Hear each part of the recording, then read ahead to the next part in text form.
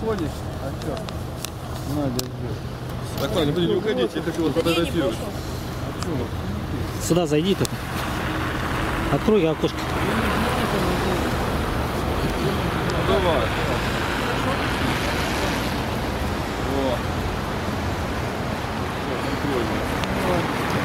А? Сергей Павлович, он сзади, женщина. Но говорят, он в больнице. А, ну, Больница? что? А что? Я не знаю. А какой? Не знаю. Что-то серьезное?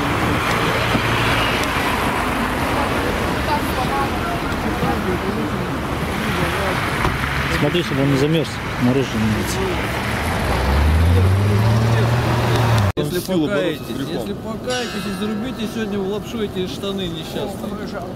Жалко. Ну хотя бы прикройте их для начала сверху, то лоскутом потери. Еще будет вам удобнее и теплее. Господь вас любит.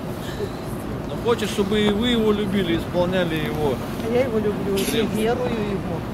И Господь мне помогает, во- всем помогает. Вот я прошу, Господи, пойду в сад и думаю, мне бы вот это сделать сегодня надо.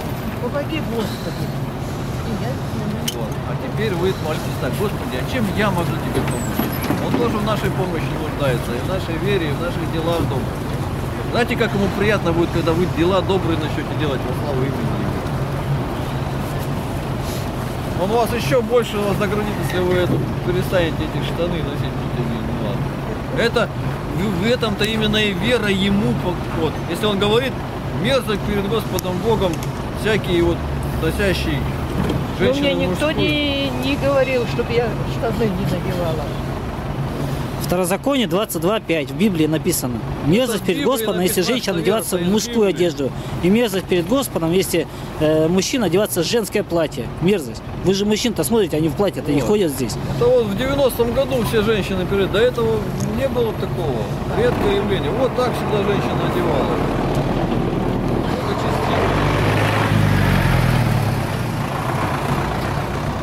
Хотите Богу угодить, соблюдайте Его заповеди.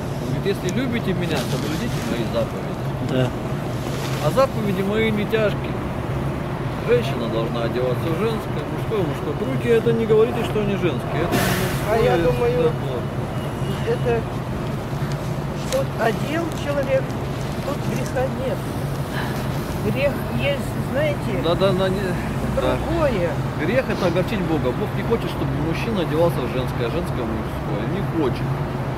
А вы противитесь его воле. Вот это и грех это и есть. Грех все, что не по А Писанию. что в одеянии это, тут мне кажется... А вы дальше, глубже смотрите. Вот Нет, если сейчас мужчина надеялся в женское, женское мужское, что дальше будет? Смешение полов. Содом и Гамора, который был шок. Шок, понимаете? Извините. Меня Это от этого начала. Все это феминистки, лесбиянки, геи, все, все с моды начинается. Это кажется, что ни греха нет. А это вот Да, что? коготок увязнет и все. Вот у нас с храма выходят колени голые. Крашеная, ходит, молится. О чем молится, Не непонятно. стыдиться, смотреть холодно.